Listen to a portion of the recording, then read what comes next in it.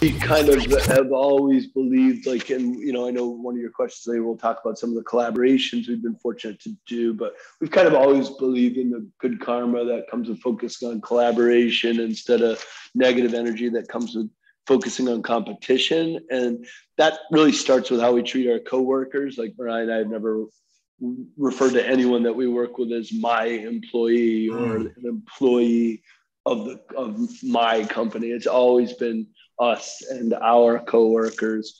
Um, and so really the collaboration starts and is most impactful with how we work with and how we treat our coworkers collaboratively and then kind of concentric you know circles out from there with our retailers distributors our consumers um, so collaboration is kind of the heart of what we do and uh, that that concept of of ex- being on an exploration of goodness it has as much to do with kind of how we treat uh, people, whether they're customers or coworkers, with respect as it does with the exploration of goodness when it comes to you know recipe development and finding good ingredients, ingredients that are all natural. So that goodness, we love how it speaks about what we make and you know how we make it and, and, the, and the awesome folks that we make it with. Most of us never learned how to train our brains, which is why most of us needlessly settle, struggle, and worse, suffer. My name is Chris Dorris, and I want to make brain training mainstream. This is my series, Tough Talks Conversations on Mental Toughness. I'm interviewing badasses from all walks of life on what mental toughness means to them and their unique approaches to strengthening their minds. Hey, everybody, welcome back to Tough Talks Conversations on Mental Toughness. I'm your host, Chris Dorris. And before I get to introducing our awesome guest today, let's take care of our, uh, as always, our one housekeeping item. If you're not getting notifications of, uh, or if you're not getting the t- um, daily dose, mental toughness tips in 30 seconds or less delivered to your inbox, your email inbox at well, 6 or 7 a.m. every morning uh, of the year, wherever you are in the world, then we totally got to fix that. If you're not getting notifications, if you're not getting my blog posts, they come out on every Tuesday. We got to fix that. And if you're not getting notifications of, of the new um, podcast, Tough Talks podcast episodes, then we just have that continue. So we can fix all that really easily by going to ChristopherDorris.com backslash lists, L I S T S. ChristopherDorris.com backslash lists. Sam Calagione, yeah, baby. Go Mules. Meaning, um, I, we went to Muhlenberg College together. I was a couple years ahead of Sam. We, we hung in the same crowd though, and uh, yeah, our mascot was the Mules. Yeah, yeah, I know. They didn't. They could have put 15 more minutes of thought into that one. The Muhlenberg Mules, but uh, you know, Sam has got to be, if not the most successful alumnus of Muhlenberg College, then he and I are a couple of them. this is why I'm so excited to share Sam with you. I've really been looking forward to this. I went to visit the, the his so he's the founder right of Dogfish Head. It used to be brewery. Now it's way more than Dogfish Head Brewery, but he started it in 1995, and uh, it has grown enormously. You know, I'll read I'll read you his bio in a second, but uh, you know, I went and visited it it and all the places that have opened up, the Dogfish Head Dynasty. Uh, and you know, a couple years ago during the summer, I flew back home, and wow, wow, wow, wow! What an incredible experience! What an amazing culture! Just so many incredible products, but the culture that is created is just so much levity. That's why I'm wearing this shirt today. I chose this shirt for an interview with Sam because it, because when I think of my experience with Dogfish Head, the company, the culture, you know, the, you know, the people, the vibe. Lightheartedness is like a perfect word to describe it. But you know, here's the thing. Right, I'm going to drop a mantra for you, and this is like this is what Sam is, right? Inherent within your desires are the mechanics for their own fulfillment. Now, here's another way of saying it Trust the organizing intelligence inherent within your passions. Inherent within your greatest passions, I am convinced, are all the ingredients for stratospheric levels of success. He trusted that. We're going to talk about that. He trusted that. He came out of Muhlenberg and he went and he pursued craft beer, crafting beer, crafting beer. And he just started this tiny little thing that is not a tiny little thing anymore. It's not a tiny little thing. It's a very big, very, very big thing. You know, and he's having a blast doing what he freaking loves. Right? Let me read you uh, a bit of his uh, bio here, because it's so impressive. So he's the brewer founder of Dogfish Head at Boston Beer Company, right? Which that's Sam Adams. They merged. Uh, he's been focused on brewing beers with a culinary with culinary ingredients since '95, when Dogfish Head first opened as the smallest craft brewery in America. Today, Dogfish has grown into a 400 plus person company and is one of the most recognized breweries in the country. Dogfish Head is based in Delaware, with Dogfish Head Brewings and Eats, an off-centered brew pub and distillery. Chesapeake and Maine, which is uh, it says a geographically enamored seafood restaurant. I've been; those are right next door to each other. I've been to all these places. Uh, with the James Beard nominated cocktail program, the Dogfish Inn, a harborfront beverage-themed motel. Yeah. And Dogfish Head Craft Brewery, which is the production brewery and distillery featuring a tasting room and a kitchen. So they're currently Dogfish is currently selling beers, spirits, canned cocktails across the U.S. And in 2019, Dogfish had proudly merged with the Boston Beer Company. Sam Adams. How huge is that? How huge is that? So Sam's innovative style and collaborative spirit has earned him a reputation as one of the industry's most adventurous entrepreneurs and brewers, and he's authored four books and was named the James Beard Foundation's Outstanding Wine Spirits or Beer Professional in 2017. Sam, his wife Mariah, and their family reside in coastal Delaware. How impressive is that? Let's have a fun ass dialogue. He's waiting for us. Let's go find him. Where he at? There he is, right there. There he is. Recording in progress. My man. Go Mules. Go Mules, baby. Derek Koppler says hello. What's that? There. Oh, right on. Derek, Roger that. Well, shout out, big shout out. To, I was going to say that to the end, but I'll have to big shout out to Degs Hops. You know, I think that you remember Grimmel of course, yeah. and Bingman. Yeah, East, I think that East crew. right, right, right. Grimmel and and maybe Bingo. And I might have been the only people to call Derek Degs Hops. But anyway, thanks, Derek, for setting this up. You the man. Yeah, we got to hang out when I came down there, and uh, when you gave us, you were busy in meetings, but uh, imagine that, right? But you you, you gave us uh, a beautiful Old school hat. care package. This is badass, man. Yeah, and it was supposed to look like the 1970s, the era we, we grew up in. It's not say everything you do has meaning behind it. Seriously, man, everything's so calculated and meaningful. It's so great. I love that. But first, let me just start with this. I, I, I have to start with, I mean, just like massive, massive congratulations to you for the unbelievable success of your hip hop album, Pain Relievers. I am keeping my day job as a brewer, but if stuff goes askew, I can always, you know, make a living off my eight followers on Spotify as a hip hop, beer geek hip hop, uh, uh, you know, I don't know what the heck I'd call myself, trier. Very impressive. You know, I got to think that back to the tribe that we hung out with at Muhlenberg. I don't think anybody would have predicted that your claim to fame would be hip hop. I think everybody just said, ah, Yeah. gonna- the guy's going to do some shit with beer or something. He seems to really like beer. Even in, in college, I had that going for me before I was even a home brewer. Yeah, yeah. Well, congratulations again to you and Bryan, Bryan Selders, your your your co-pilot there on that album. But seriously, joking aside for a second, Yeah. unbelievable success. You know, um, the reason I chose the vocation that I've chosen, the whole reason this podcast even exists, right, is because I've decided to commit my life to one thing, really. I stayed with it, which is inspiring people to not settle, man to cr- to create their lives on their terms. That's my definition of success. To to, to not settle, you know, like and to, to be and to trust, man, and to trust something that we've all been well educated to not believe, which is that inherent within your passions are all the goddamn mechanics for success. You are the embodiment. You are the personification of everything I just said, dude. So, in all seriousness, congrats, man.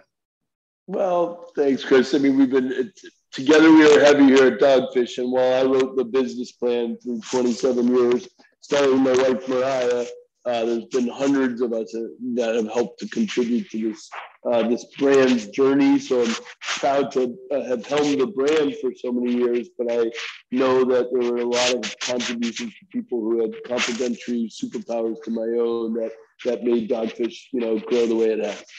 Yeah. Well, that's that's humble of you, and it's and it's true. Tell me about the motto.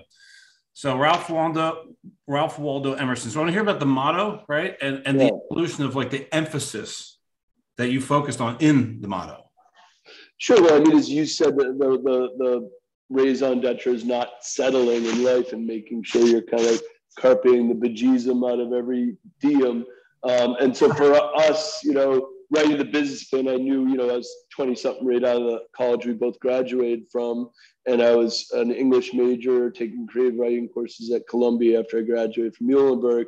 And I was like, wow, I'm a good writer. I was a good writer in my sort of peer set at Muhlenberg. And now that I'm at Columbia, man, there's some world class writers here. And I was like, all right, well, I'm a passionate storyteller. I love expressing myself creatively. So maybe I might not write the great American novel, but maybe I could write some really provocative and interesting recipes for beers uh, and kind of melded my love of storytelling and brewing. Uh, and but didn't give up on being a, a, business major. So the first page of the business plan for Dogfish Head Brewery was that Ralph Waldo Emerson quote that I think your listeners will appreciate. It's relatively short, so I'll just uh, share it, which is Whoso would be a man must be a nonconformist. He who would gather immortal palms must not be hindered by the name goodness, but must explore if it be goodness for themselves. For nothing is uh, at last sacred but the integrity of your own mind, which is like you've said, it's about not settling, it's about believing yourself, uh, especially uh, if you're going on a journey that's sort of outside the status quo, outside the norm, that takes a lot of uh, courage and confidence. And it's that quote is all about not just having the courage to go the, the courage to go on that journey, but to believe that you'll find like-minded people um, who will want to go on that journey alongside you. So, you know, thank you for sending. You're very generous, man. I feel like I'm showered here. I've got all these beers. Are we are we drinking? Damn it, I'm not. I want you to drink, but I'm, I'm at the brewery, so I have to drive home, and I'm responsible member of a public company board now, so I got to be extra careful. But I'll have one when I get home. If you'll have one, there you go. Well, that's, that's me. That's me in liquid form. Uh, there's another one that, that is my favorite, but I'll, I'll what's that? Well, you'll see. Okay. Da-da-da, drum roll. Yeah, man. Uh, because I want to talk about it. Okay. Uh, but I'll show you the. I mean, this thank you for sending this, man. And congratulations for it. This is kick oh, ass, dude.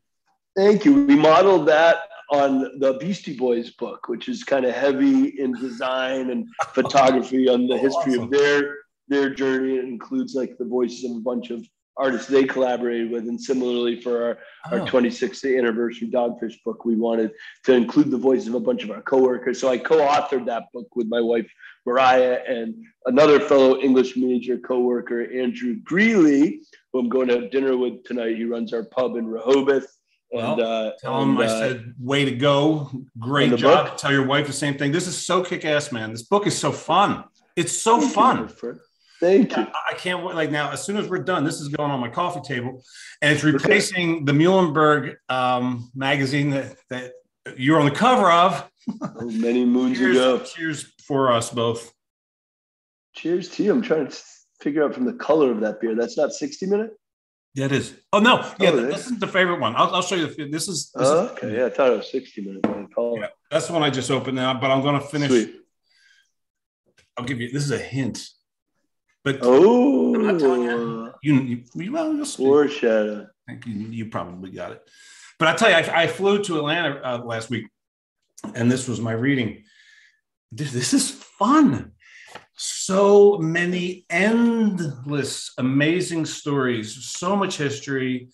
So much thought that and creativity, brother. You're a creative freaking genius and, and, I just and I love the depth at which you know you, you go into the creation. You respond to life with creativity. That, by the way, is one of my favorite definitions of mental toughness.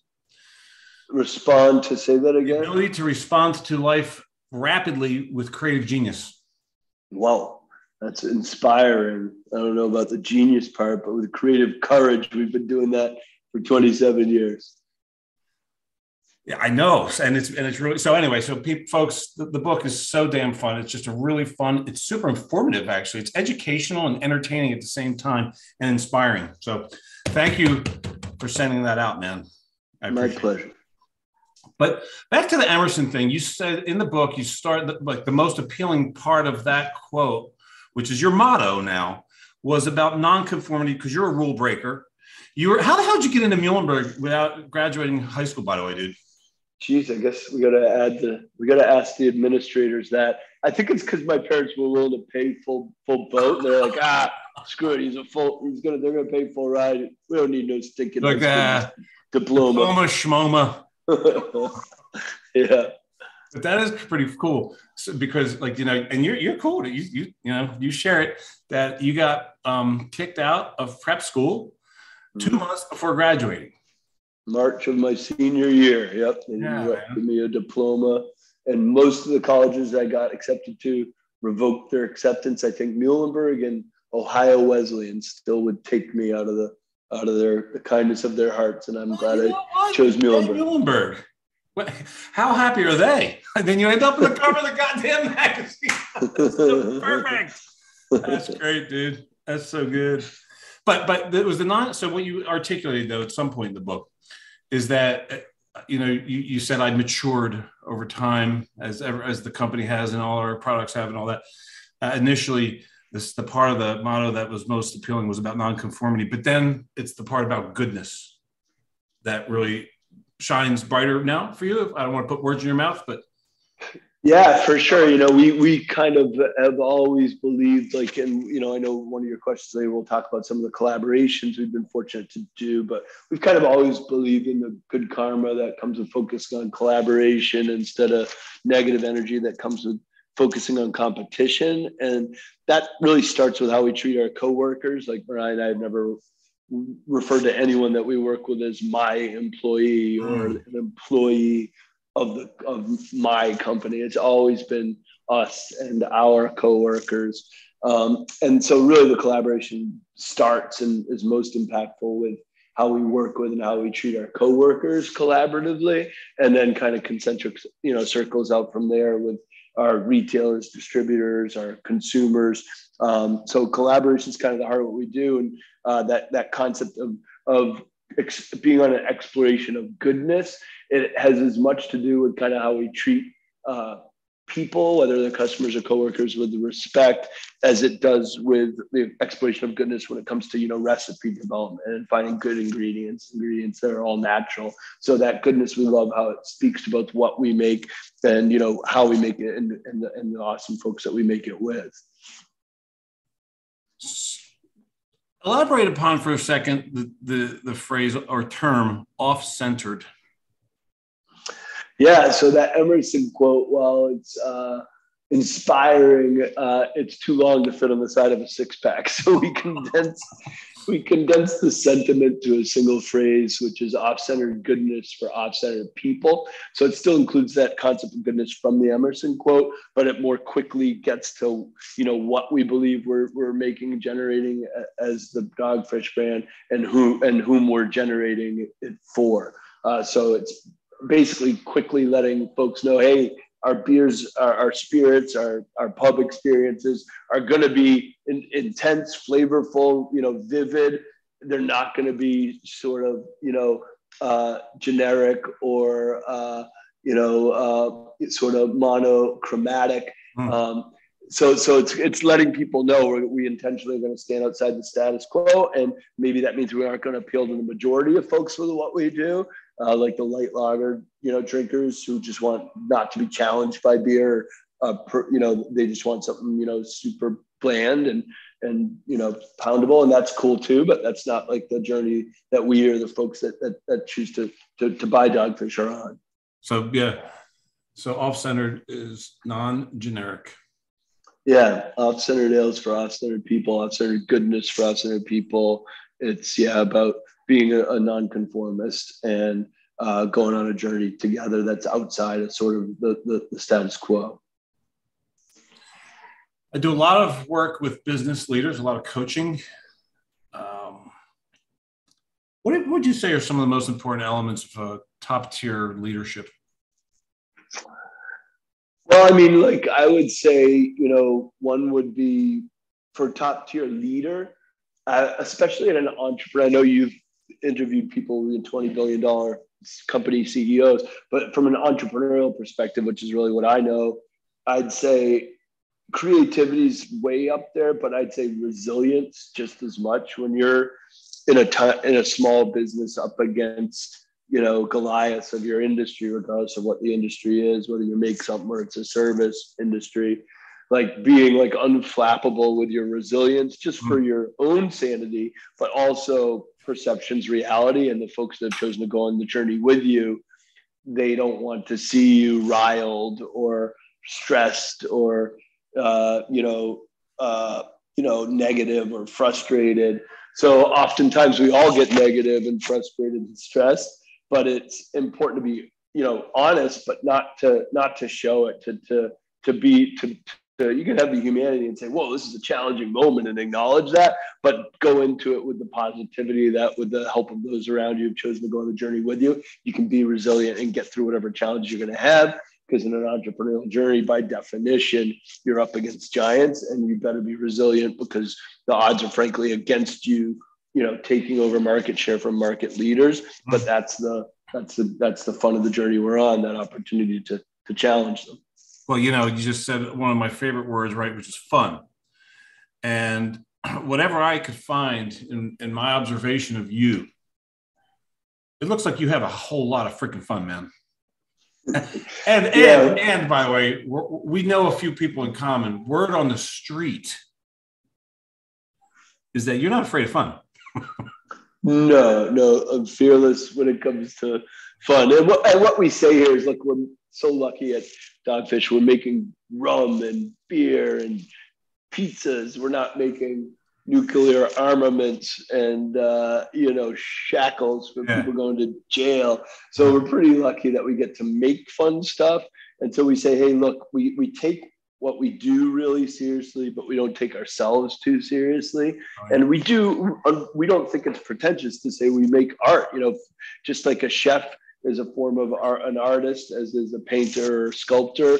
Uh, we believe that making you know world class, unique uh, beverage recipes is an art form, but we don't treat it like some snooty, you know, our artiste approach. We say, hey, yeah, we got world class skills to make these liquids, but uh, we're gonna have a lot of fun while we make them and not take ourselves too seriously. Well, look, you know, every shred of human peak performance research supports that fun is fucking smart. Fun is is is a, a good lens to start every day day with. Well, Can I make this day fun? I chose this. I got a million of these damn shirts with mantras. Keep it light. I wore this one for you, for you know, for a reason. For multiple, I like it. It's got multiple interpretations, but the lightheartedness is a huge part of it. I mean, I was yeah. tour. I hung out at your places. I went to all the places. The inn was full. I couldn't stay there It's too popular. I didn't I didn't do enough homework in advance. Get my resume. It's a tiny inn. It's a small inn. Yeah, it's cool though. All of the places are. You have so many places. There's so much going on. Oh, congratulations, by the way, on the one year anniversary of Miami. Wow, thanks, Chris. And uh, yeah, I flew back from there yesterday. I yeah, was Sunday, Mr. Sunday. Was buddy Mr. Bosh there? Chris Bosh, Hall of Fame basketballer, and I released our second beer together oh. uh, called Bosh Blonde. Oh, yeah. So he and his wife, uh, Adrienne, and a bunch of his music and, and, you know, athlete friends were at Dogfish Miami, our newest brew pub, for that uh, beer release, which was uh, super fun. That looks cool. Yeah, good on him. A little shout out to him, by the way. You know, creating excellence, giving so much back. Mm-hmm. Good on yep. you.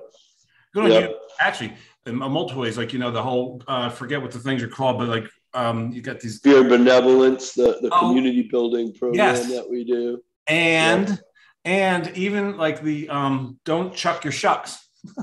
yeah, that's right. Wow, you've done your research. Yeah, all the oysters, dogfish. We own a uh, a seafood place uh, called Chesapeake and Maine, which is more. It's also the platform for us to do our experimental spirits. We distill gin, rum, vodka, whiskeys, and then we make cocktails with them. And we have our brew pub in downtown Rehoboth, which is more about, oh, there you go, nice. And, and we have our brew pub that's focused on more experimental brews and getting immediate feedback from customers uh, on our experimental brews that might be commercialized someday. And then next door is Chesapeake and Maine, which is a little bit more high end seafood restaurant and that's where we get feedback and trial experimental cocktails and spirits. And yeah all the oysters from there uh, get recycled all the oyster shells. So we try to be pretty careful about that that that environmental uh, opportunity that we have for continual improvement. Yeah well you're also doing the whole i can't remember the initiative but you'll tell me uh, it's here on mm-hmm. one of these screens about reducing plastic waste yeah, yeah, yeah. So we we we're one of the first breweries to, if you go to our Rehoboth campus and buy the beer to go, instead of it being topped with plastic, uh, you know, there's these special like soft kind of papery but really uh, t- intense, tight uh, uh, material that's biodegradable. It's actually turtle food instead it's of what? Uh, adding turtle food. Yes, I tried oh, it. It doesn't, doesn't, taste very good. There's six pack top. You tried it, but I didn't try it. I ate half of the topper. Uh, it was not very good, but I digested it against my stomach's better judgment. Yeah, and uh, and then yeah, and we can talk about like one of the most fun and rewarding projects I ever got to do because they're brand was a real touchstone for us. Was I just got back last week. I was in Ventura, California, with Yvon Chouinard and the, the family and, and leadership of the Patagonia Company and Dogfish and Patagonia Provisions. Just got to brew a beer and release called Kernza Pils together. It's beautiful, earthy pilsner. So that was one of my most rewarding collaborations in, in our in our 27 year history too. Right on, man. You ever heard of um, Plastic Bank?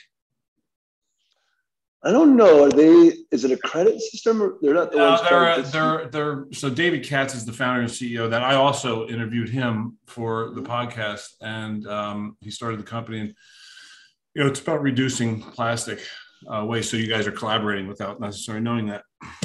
Nice. Our Dogfish Patagonia hats that we uh, that we did for this collaboration is, are actually made out of recycled fishing nets that are gathered oh, in the ocean. That's kick ass. Uh, we figured with our nautical our nautical themed brand that'd be a great way to to do the the hats. That's that's brilliant. Uh, let's talk about customer service. Um, there's a vibe, man. You guys have a vibe everywhere. So I went to all the places. Right, and I, and I wrote by the way, quick. What's that? You did your research one pint at a time. at a at a time. So, but uh, thanks to my comrade Giddy Beer Chef Goldberg, his name is Giddy, like Giddy Up. Love it. He's the guy I went and traveled with to, to come visit all your your places. He's he's in the obviously in the industry. He's a beer chef, so he's an artist. He's an artist like you. All right, Giddy. Yeah, and um, you know what? Let me. I made since he came up. I'll tell you what. Uh, I couldn't stand. I couldn't stand beer like this 10 years ago. Super like hoppy IPAs. Yeah. Hoppy. I was a Miller Lite guy. Yep. This the end. I was old Milwaukee before that. oh geez, you've been no, I mean, You get what you can get when you're 16. But I mean, I was just like, you know, you know, frat beer, yeah. frat house, goddamn, yeah. right? Yeah. But thanks to Giddy, man, he has really um, sophisticated my palate. And I'll tell you, you what, all right, may as well, we may as well reveal. We're going to reveal it. Okay, you ready? So i will tell you yeah. what. The last thing in the world. See if you can identify this by the sound of the opening of the can. Hmm, that sounded less gravity, so lower alcohol than 60 minute. I'm going to guess slightly mighty. Guess SeaQuench. Yep, well, there you ding, ding, ding, ding, ding. he guessed it with sound. That, now that's the mastery right there, baby. That guy can uh, name this beer in one can opening. I love you, dude. Years ago, I would cringe at this. Ah, not really, but like a full, like a real full sour. Yeah. I still, in fact, I still can't. Yeah. Ours is softer than a lot this of it. This is amazing. Thank you. That's my favorite beer that we. I know it is. I love the story. Well, I love the story. Yeah. The history yeah. behind this beer is well, I mean, that's true for a lot of them. But Yeah, this try to be storyful with the recipes, and that the story is kind of as hopefully as interesting as the drinking experience. Mm. Yay to that. It's very hydrating. We're not allowed to say that. The federal government I can. Mandates that he can't say any Can health claims with beer. I can't even acknowledge the, the words. I don't even know. I don't know. I just took one sip. I feel completely. I feel like I just got a um, an infusion of my own personalized uh, version of Gatorade, Jeff Gordon style. I got to meet Jeff Gordon. We should You did. That's let's we'll segue to that. What a great human being and athlete. who had Gatorade create his own customized version of the damn drink to drink during, you know, based on his weight and this this, Yeah. all this stuff. And then you just say, I need to talk to your your scientists. That's right. Were you a That's Ted Lasso fan? Love to. I didn't get turned on him. Actually, our CEO at Boston Beer turned a bunch of us onto that show right when it uh, came out. My wife Mariah usually goes into the coal mine before I do Netflix wise, and came out and said oh, that you'd really like this one. I mean, you know, considering your line of, of work, you, you know, he really is an inspiring coach, leader. You know, like a life coach, not just a sports coach for the, the people that are around him. In a way that's like not like all ego and Yeah, yeah, right, right, right. Service, man. Service, like Mhm. caring about your people, like you. That's another thing I want to talk about. But the reason I thought of, of uh, Ted Lasso is, but because I was thinking about you and Jeff Gordon and Gatorade and scientists and how curious you are. Do you ever do you remember the episode where he was playing darts? Oh, that's we showed that at a company meeting when he, Oh, that was brilliant. about the, conf- the curious. confidence Walt dad, Whitman. right, teaching him. Walt That's Whitman, right? Yeah, that was probably one of the best scenes in the whole series. I think it is the best scene of the whole series. Yeah, Be curious, not judgmental. Let's talk about customer service, man. That's a, I, I'm a huge, huge fan of excellent customer service. It's a big deal to me. You know, there's um, another guy I interviewed for the podcast. Is his name is Bob Burg. He's the co-author of a great book called The Go Giver. go Giver. I'll write that down. G Here, I'll show it to you. It's called The Go Giver. Go It's beautiful, man. It's really it's Yeah. it's it's probably the best book ever written on sales, and it's just not about sales though. It's about what it is is about prioritizing, uh, bringing sick ass value, like crazy, stupid value, oh, way over concern being concerned about profit. In other words, not not caring about it. It's letting permitting your profitability to stratospherically skyrocket as a result of prioritizing being bringing sick value. So. I started to mention before I got a little distracted, I distracted myself. Um, customer service. So when I was there, it was it's just so obvious the the levity. This is another reason I wore this shirt. Okay, today for you because it's a reflection of how I felt while I was going to all of your places. I had I'm very gregarious, but that doesn't mean that I'm going to have this amazing time. Sometimes it actually repels certain people if they're really not in a good space. But everyone, every single human being that I encountered at all of your establishments was fun. I like hearing that. It warms my heart. Yeah, man. And they love you, bro. Good stories. Because I, asked them, man, I'd like, how do you feel about Sam? Yeah. And then I'm going to follow it up. It's like, I went to school with him, uh, but I'm like, how, is he a good leader? I, I asked him that. I seriously asked him that. And like, is he a Uh, good leader? Is he a good leader? They're like, it was, it's, they looked at me as if I'm an idiot for even, like, are you a good leader? What is wrong with you? Well, I would say I'm, I'm I'm not a great like org chart traditional leader. I'm not a good like check in one on one weekly. Here's your quarterly review. I'm not good at, at at that stuff. And there's definitely better managers in our company that are amazing people managers. But I do take pride in having a genuine relationship with as many people at our company as I can, and pretty like you know with no concern on are they report where are they on the on the uh, org chart, you know, some of our favorite things, like, because we have a bunch of us that are way into like Marvel superhero movies, because there's so many analogies to to to draw between the world of people with complementary superpowers in a in a comic movie and um, you know what you do in an entrepreneurial company and one of our fun things is we have a group that just meets and goes to the newest superhero movies together. It'll be like a forklift lift driver with a waiter, with a you know a CFO, with a blah blah blah. And, and those nights of getting everyone together, um, or, or, just a, a, really disparate group of coworkers together that share a passion for something other than quote unquote moving up the company, you know, org chart are really re- rewarding. We also do something called Beer 30, which is we all stop working on Fridays at, at 4 p.m. and we go meet and uh, just have a few beers together. Um, and again, where do you do that?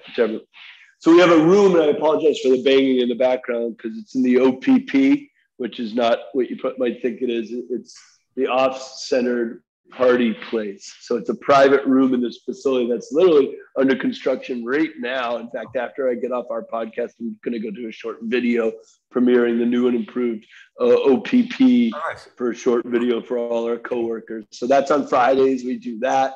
And uh, yeah, so uh, that, that concept of, of customer service and being world class. Another book you just, yeah, you just shared, The Go Giver. I would share uh, Setting the Table by Danny Meyer, the great New York restaurateur, as an amazing book on hospitality that I think applies beyond just the hospitality industry and just to, into just being hospitable. Um, and you know that concept of goodness for us. There's nothing like religious about dogfish. We never like talk about religion, but to me, that goodness concept's no different than godliness, just small g, and it speaks to sort of the golden rule. And you read even like super old like you know sort of uh, you know business help books like you think of something like uh, Carnegie's uh, how to win friends and influence people so much of the same information between danny Meyer's, you know skipping almost a century between his work and and carnegie's is this is about treating other people as you'd like to be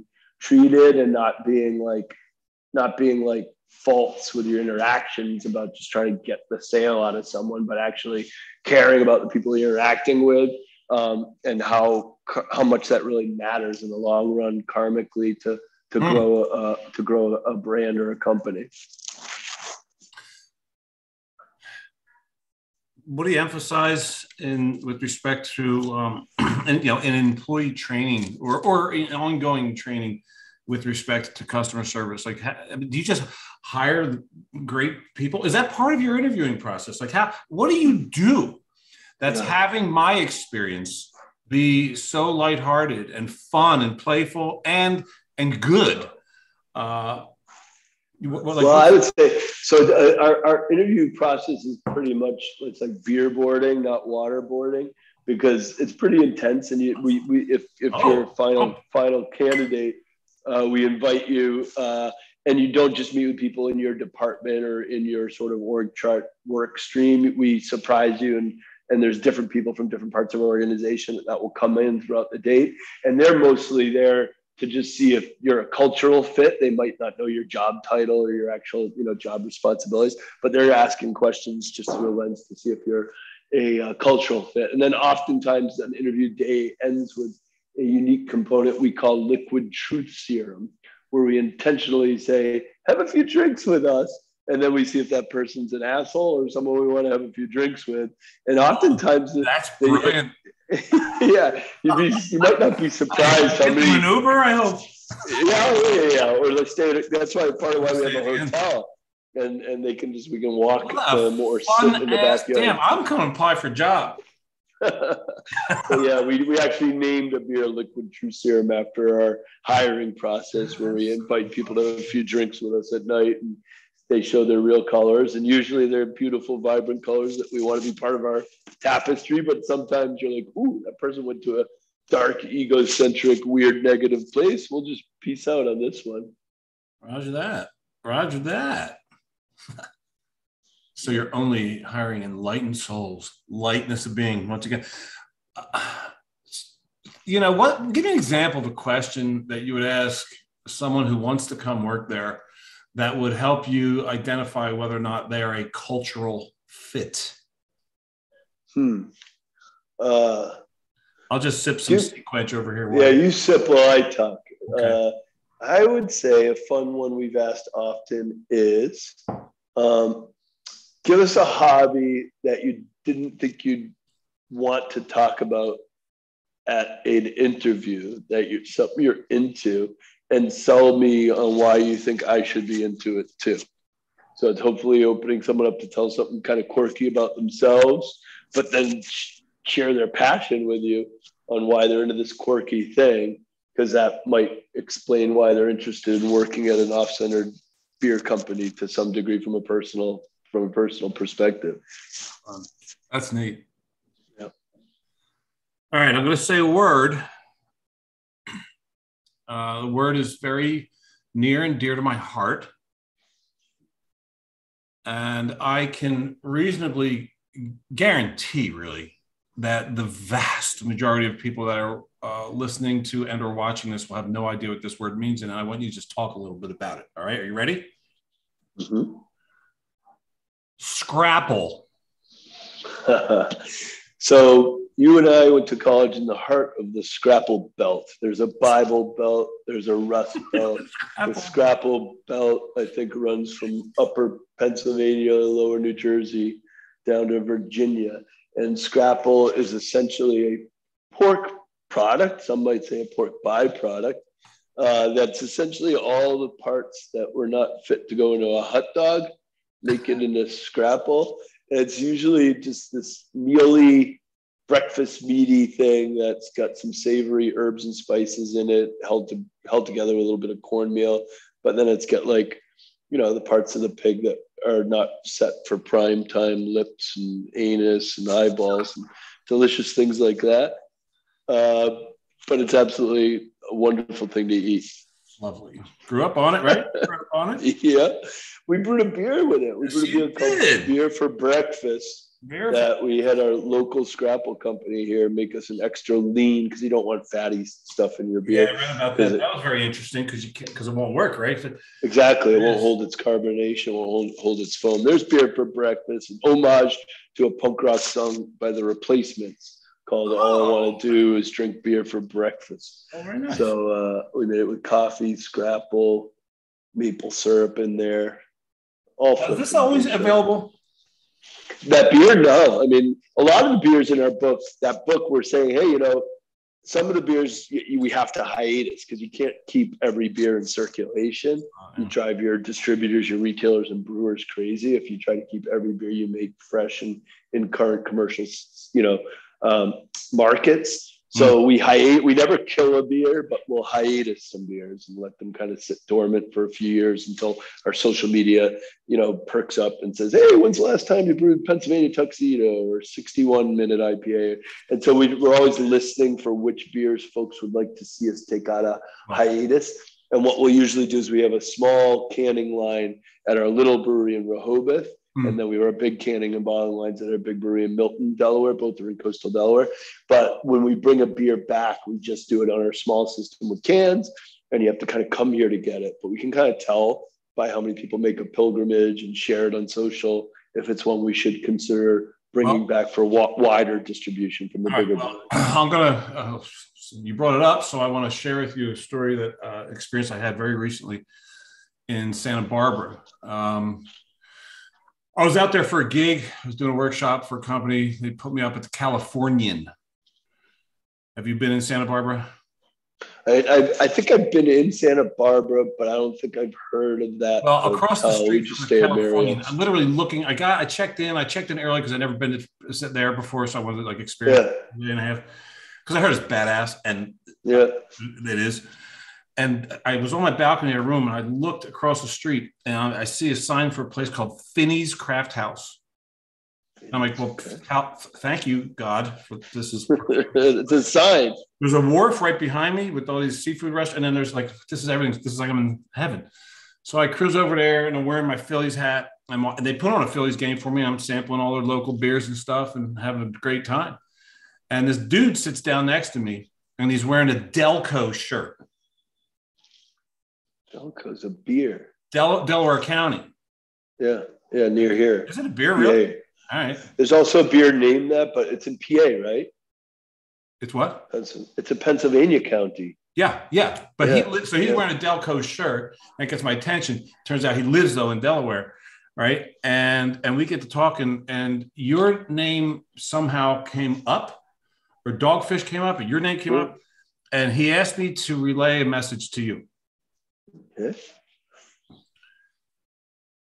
His name is Frank Frank Dewan. Can you tell Sam that I'm a, a huge fan of his and been following Dogfish for a very, very long time? he really needs to bring back Midas Touch. Bring back My Midas favorite, Touch. my favorite Dogfish beer. Great story about that beer, which is he, he's right. That story's unreal. I love that's an, like mind blowing cool story. Uh, he says I got a few uh, 120 minutes aging. I also love the honey rum. Milton, Delaware is, on, is the top of my list of retirement spots. So I'll, be meeting Sam some point in the near future. So there's your shout out, Frank. Now I know in the book Mhm. you say you will not bring back Midas Touch. Ooh. So, well, well, never say never, because yesterday I had a thread with the molecular archaeologist that first made the discovery of the residue in the tomb in Turkey that led to us, you know, Oh, the dude that. from U of P. Yeah, University Dr. of Pennsylvania, Dr. Dr. Pat Pat, McGovern. there you go, Dr. Pat. Yeah, so I've been I've been back in touch with him just to say, hey, what's something new that's old that is new news in the science world that we might be able to brew together again? I have a case of Midas Touch for him under my desk here at Milton Oh. for Dr. Pat. Oh. But yeah, never say never. We we we will likely bring back Midas in small batches. Maybe when Frank retires here, he can help us brew it. Here you go. That's awesome. Oh, that's perfect. Hey, I want to tell you a story, man, that you reminded me of, and and it's, I was reading about Bitches Brew. Yeah, another fave. So, um, man, you get to meet a lot of cool people, or at least communicate and interact with a lot of really cool people. Man, people that fall in love with the, your beer, your products, and, and and your culture. And um, so, but Bitches Brew is a tribute to is inspired by Miles, right? Miles Davis. Yep. And there is this amazing story. Tell me if you know this story. It's a story about Miles Davis and Herbie Hancock. Herbie Oh. Hancock, okay, and it's a when they put Miles invited Herbie to come play with him live in Stuttgart, Germany, an outdoor summer cool gig, right? So Herbie's crushing, you know, keyboard, and Miles is doing Miles. Do you know this story? No, I'm interested. Oh, you're gonna love this shit. So uh, Herbie is playing and he fucks up, according to him. He, he plays a chord that has him cringe. He's with Miles Davis. He got invited. It's like woo, and he plays a chord that he describes as completely wrong. You can find this on YouTube because he tells a story. It's beautiful. So just Yeah. go on YouTube and put Miles Davis, Herbie Hancock, and uh, in, in fact, you know what? This is this would be a great video to sh- to share with all the employees because man, it's so powerful. So he so he's like cringing, right? Herbie, he's, he's going, oh God, no. And it's like the longest, like one and a half or two seconds of his life. He's waiting, and then he sees Miles, and Miles reacts like, oh nice." Broke the mold. I didn't see that. That's off center, bro. That's off center. And then does Miles start playing in that he chord too? it. Yeah. He worked with it. In Chinese uh, philosophy, is a term for that called Wu Wei. It means not struggling against shit, it's working with. Wu Wei, W U, next word, W E I. So working with, not struggling against things. So Herbie, I'm sorry, Miles Davis, because of his level of mastery, was able to respond. He had the response dash ability to what Herbie thought was poison, and he made it nourishment. Ooh, that's a good way to put it. Uh, Well, my- favorite Miles story was uh, when we did get to do that beer uh, with his family. You know, he'd passed by then, uh, but it was like the 50th or 40th anniversary of the Amazing Bitches Brew album, which is really a, the first, like, you know, the most iconic fusion of jazz and rock. And so we did this fusion beer that was a fusion of like an African traditional honey beer called Tej and and Imperial Stout. And uh, so Miles's nephew, who played on the album, great musician in his own right, invited us to Electric Landlady Studios and Jimi Hendrix Studio in New York, and we got to play on the reels, the original masters, the Bitches Brew album. While we were, you know, doing that and sipping beers, I said, you know, what what's a really memorable exchange you had with your uncle around the time you guys were doing Bitches Brew? And he and he said, I asked my uncle Miles one day, you know, hey, Uncle Miles, there's you know thousands of jazz musicians. How, what what made you stand out from that pack? And he said, "Don't play what's there, play what's not there." So you can think of that statement when Herbie hit the wrong note, but Miles was like, "I was not expecting that to be there. Oh my God, I'm glad that was there because it was unexpected. Let's make something new with it." You know. Man, I got that's so. I love that. Yeah, uh, so yeah. every I think that's every entrepreneur. You know, that's every that's every entrepreneur's opportunity is is is to play what's not there. You know, and your ability to play what's not there is compromised by you having a problem with what is. Your ability to play what's not there is enhanced by your ability to respond rapidly to every outcome with grace and creativity. Right, right. We were talking about the word resilience earlier right. and that being like taking something in that's unexpected instead of getting mad or surprised be like okay all right absorb it and see if there's something you can do with it that's what that's, can i that's create good this is a good question yeah. right to get into that yep. right this is good stuff man Yep. Uh, okay, so I uh, I you know I take requests once in a while when I'm doing a podcast, and I took a request uh, from someone that that you know, um, from two people actually that you know who are married, who are in the industry, who are very close friends of mine that live here, that are iconic presences in, in the beer world here in Arizona. Mm-hmm. Do you know who I'm talking about? Is it Leah? Doc and Melissa Osborne. Oh yeah. Doc, Melissa, yeah. Doc requested that I ask you a question that Melissa told me not to. So that's scratched. um, but then the one that did make the cut is can you tell a story about any bocce ball tournaments or after parties? Hmm. Well, they played in them. You know, we used to hold them in Arizona and California. We do a dogfish East Coast intergalactic bocce tournament and a West Coast, and we'd invite brewers like them and you know restaurateurs and distributors. It was just a fun way to compete without putting your beer down while you played an awesome sport. You had to roll with beer in hand, and you get you'd get foul points if you rolled without an active beer in your hand. So it really was an awesome way to bring people together over a fun sport. But lots of great friendships were struck up, you know, on the sidelines while you're playing for your uh, next match. Uh, one of my favorite stories is our ex VP of sales, Adam Lambert, uh, English dude, very fair skinned, and he was having so much fun uh, playing bocce in the Arizona heat. You know, he was dressed as a, a female um, cheerleader in the skimpiest of uniforms with a little tank top showing his mid big midriff and a tiny little skirt. Oh, sexy. Uh, very very sexy looking. Uh, but then he had high tube socks on like a dude for some reason that screw that look. And uh, he got back to Delaware and his skin blistered. He got so red. Uh, but his tan lines were from his um, limey white skin to his bright red cheerleader marks was extremely memorable. I can't right. burn it out of my third eye. Now I got a show and tell for you. And if, if you could just give me a little context here. Sure. Oh, that's us. That's all of us. It looks like at an 80s party. There's a young Derek Hoppler. There's a young Derek Hoppler those people are having a lot of fun. That yeah. There's a little Bill Pink actually over there. Pink from Connecticut. Tommy Sabo actually. Sabo What's from going on with this fella right here? What's going on with this guy? That's me. I guess What's going on right there? What, what are we I doing? My blonde locks. I let my blonde locks out in a wig that night. It looks like, and uh, Maddie Myers, soccer player. Robo, RoboCop. Yep, yep. Uh, yep. So what a wonderful group of folks. Uh, so yeah, that, we must have had a '70s party. Was that in East? Do you think, Dorris? Yeah, that's got to be in East. That has to be in East. Yeah. Yeah. Right on, man.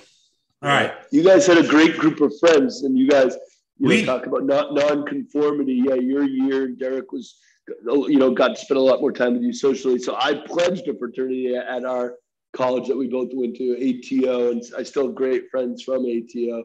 But I'll say you guys were all the uh, what'd you call them MFIs, uh, MNF and Independence, and you guys banded together and said we're not. Dude. I was a Teak brother. Dude, that's right. But a bunch of those like Sabo and Derek, and then I became. I became. I finished. Right. I started as a Teak brother, and then I began. And. I got no problem. I love uh, you know tons of the Teak brothers I stay in touch with. Yeah. Um, but I became an F hall dude. Yep, F hall was a de facto fraternity of just good dudes. So I, I remember hanging remember out beach parties with Abdul and yeah. and, and yep. Chadwick and the Gutter. room that had a tree stump inside the room. Good and Schmitty. Schmitty. Yep. You ever have any run-ins with Schmitty? Yep, yep. Good group of dudes. Well, no, no, Schmitty. Schmitty. Schmitty. Well, oh, he was security. Security. He was Popo. Yeah, I don't like running right. into him. Right, right, right. All right. Well, uh, what is there? What, what do you want people to know about right now? Well, I'd say you know we we had, our whole mission at Dogfish was to do these off-centered drinks. So we you know out of the gates in the '90s we're brewing like beers with coffee. Exactly. So those would be what I did want to say is the the definition of beer is quickly like blurring in America in a beautiful way. Where you know when doctors started in the mid '90s we would get made fun of for putting raisins and coffee and licorice and uh, pumpkin meat into beer. And that was when there were 600 breweries. Now there's 10,000, which is awesome. And there's tons of breweries playing around with culinary ingredients like we always had. But also, really, in the last five years, what's really happened is that what we call the beyond beer space. And it was really accelerated with sort of the rise of seltzers, the White Claws, and the uh, Trulies, because they're essentially pre pre-distilled rum. They're basically cane sugar that's fermented, and then you're adding different fruits to them. So they're still technically by the feds considered considered a beer. Um, so when that started getting going off, you know, Dogfish already had a distillery, um, and we were doing a lot of cool cocktails. We're like, you know what? People are selling these seltzers in a can. Let's take our gins, our vodkas, our our rums and start blending them with different fruit juices, carbonating them, and making canned cocktails. So now Dogfish had canned cocktails uh, are uh, uh, one of the fastest growing lines of canned cocktails in America. And that's really, we just kind of introduced our first variety pack of cocktails uh, a month ago, and you can get them like on, on e-commerce sites like Reserve Bar, uh, and uh, at distributors coast to coast. So that's kind of our newest product line, in addition to our beers. That's providing a lot of growth and excitement for Dogfish right now. Beautiful. Anything else we didn't touch on that you want people to hear about? Oh, let's see. Um, well, we mentioned we just opened Dogfish Miami. Or where where exactly is that in Miami?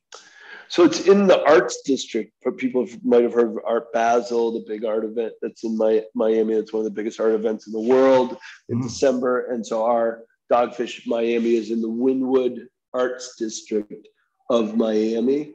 Um, really good beer, really good food. Um, and what else? I mean, uh, come visit us. We're in coastal Delaware. it feels like we're coming out of the heart of COVID, people are getting back on the road. We have three different restaurants, a Harborfront Hotel in coastal Delaware. Uh, you've been to all of them, so you can endorse them as well. I hope, uh, but yeah. yeah. we're hoping folks will come out and, and visit us as we come there. Well, I'll certainly be back. I come back all the time. I go, I go back with Giddy a lot. I mentioned who I went, so yeah. we'll, we'll, be back. I'll go because I go back every summer, at least once or twice to come home. I still, you know, I'm living in Arizona for 27 years. Yeah. Philly's still home. Okay. South Jersey's yeah. home. I'm just out here for a minute. I'm a beach bum stuck in the desert just for Scotia. If I come back for Philly series, so I'll, we'll, we'll, we'll come down. I'll let you know in advance. Hopefully we can get together. That'd be cool. I really appreciate you, man. I appreciate uh, you making time for this and sharing your lighthearted, you know, stories and, and, and wisdom and inspiration and success, brother. I'm, I'm very, very, very happy to be able to share you and all that you create and all that you give back uh, with my Tough Talks tribe. So thanks, bro. Well, Chris, you, you know, I was excited to talk to you and congratulations on your own business journey. But I got to say, I was really scared about how tough the talk was going to be if you're going to try and make me cry or anything. But you brought nothing but goodness, and you know, goodness is dear to our heart. So it was a fun hour to spend with you. or I should say brother. 60 minutes. 60 And a minutes. 60 minute. Roger that. All right, brother. Thanks, man. Peace. Cheers. Later. Remind me next time I interview a brewer if I'm going to be having any of their um, if they're of their drinks to make sure I don't like drink the super strong ones. I'm glad it was just a 60 minute as opposed to the like a 90 or 120 minute IPA. I might be slurring right now because I backed it up with a SeaQuench. I can't. I told him I can't even believe that I love this. It's it's it's it's a really really like mellow, cool, refreshing. They call it a session sour, but years ago, no chance, no chance. But now I appreciate, thanks to my beer mentor Giddy Goldberg. But that was fun. That was that was a good time right there. That was every bit as fun as I I actually anticipated it being because he's just a fun dude. Isn't that great?